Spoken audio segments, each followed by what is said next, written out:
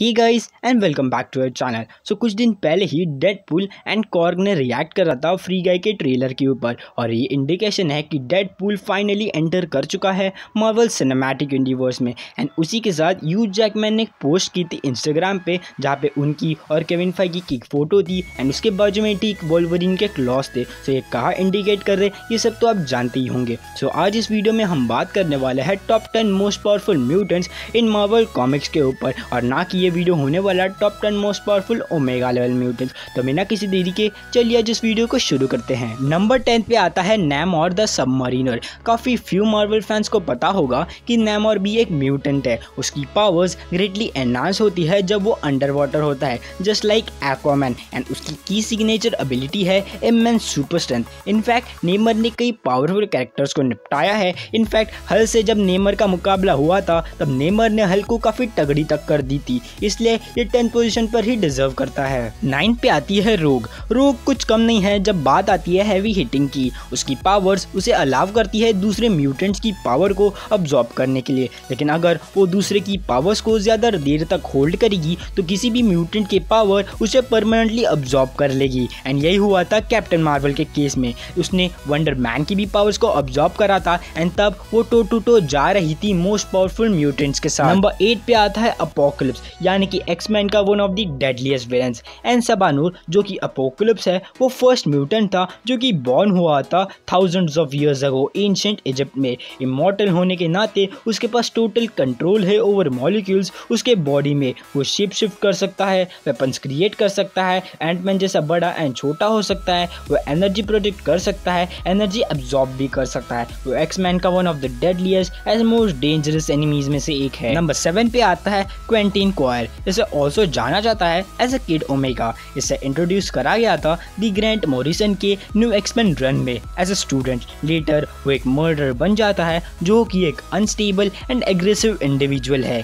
क्वायर एक omega level mutant है, वो अपने थॉट्स को फॉर्म कर सकता है, एक इंक्रीज रेट पे वो खुद के एंड दूसरे को कंट्रोल कर सकता है एंड मैनिपुलेट कर सकता है. क्वेंटिन इतना पावरफुल है कि वो एग्जिस्ट कर रहा था इवन उसकी बॉडी डिस्ट्रॉयड हो चुकी थी. नंबर सिक्स पे आता है professor X professor X one of the most brilliant minds हैं on earth X Men movies में हमें पता चला कि अगर वर्ल्ड की मोस्ट पावरफुल ब्रेन कंट्रोल में ना हुई तो क्या क्या कांड हो सकता है। ये फ़र्स्ट एक्सप्लोर हुई थी the graphic novel God loves में, जहाँ प्रोफेसर एक्स के डिवास्टेटिंग पावर को ट्रूली एक्सप्लोर करा गया था for first time number fifth पे आती है Jean Grey even without Phoenix Force तभी भी Jean Grey one of the most powerful telepaths है. वो एक ओमेगा लेवल म्यूटेंट है, जिसके पास intense level of psychic abilities है. उसका पोटेंशियल इतना वास्ट था कि प्रोफेसर एक्स शॉक्ड हुए थे उसके टेलीपैथिक पावर्स देखकर, जब वो उसने जवान थी. एंड हमने देखा कि जब Jean Grey and Phoenix force involve हो जाता है तो क्या कांड हो सकता है?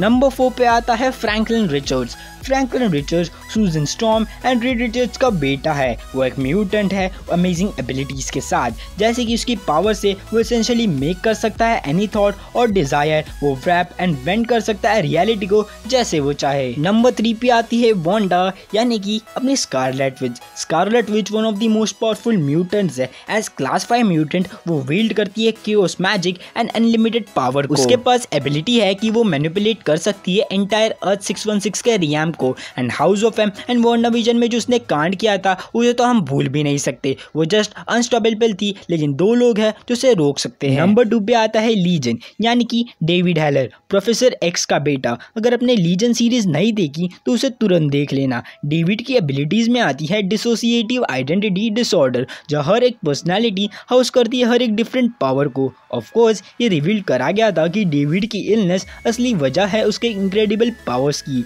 वो माइंड्स को मैनिपुलेट कर सकता है दूसरों को माइंड में अपने माइंड में बुला सकता है ट्रैवल कर सकता है टू टाइम एंड ऑल्सो वो मैटर को भी कंट्रोल कर सकता है। अब नंबर वन से जाने से पहले मैं कुछ ऑनरेबल मेंशंस बताना चाहता हूँ जो कि इस टॉप टेन लिस्ट में जगह नहीं बना पाए। वो है Storm Wolverine Magneto Hope Summers and Iceman number one पे आता है ऑन स्लॉट और कोई म्यूटेंट नहीं है इन मार्वल यूनिवर्स जो इतना टेरिफाइंग है। ये एक डेडली सायोनिक एंटिटी है जो कि फोर्ज हुई थी from Charles Xavier's and magnet Magneto's minds ये इतना पावरफुल है कि वो सिंगल हैंडेडली एक लार्ज कॉन्टिनेंट को ख़त्म कर सकता है। एंड ये कांड उसने किया भी था अवेंजर्स के इशू में जहाँ पे अवेंजर्स एंड एक्समैन एक लार्ज कॉन्टिनेंट पे थे। एंड उसने उस लार्ज कॉन्टिनेंट को सिंगल हैंडेडली ख़त्म कर दिया so था। ये थी मेरी list on top ten most powerful mutants of Marvel universe मेरी लिस्ट एंड आपकी लिस्ट डेफिनेटली डिफर कर सकती है। तो क्या आप मेरे इस लिस्ट से सहमत हैं? मुझे कमेंट सेक्शन में बता देना। और आप इस लिस्ट से डिफर करते हैं तो वो मुझे कमेंट सेक्शन में बता देना। एंड आपके पास अगर कोई नई आइडिया है,